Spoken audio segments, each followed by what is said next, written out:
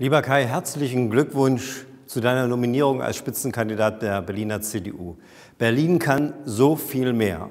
Und ich finde, Sie haben als Berliner CDU in den vergangenen Wochen und Monaten gezeigt, was Teamleistung ist. Sie stehen heute stärker da als noch vor einigen Monaten. Und das macht Mut und Hoffnung auf einen Wahlsieg bei der Wahl zum Abgeordnetenhaus. Das wünsche ich Ihnen sehr. Ich kenne Kai Wegner schon so lange aus dem Deutschen Bundestag durch so viele Begegnungen.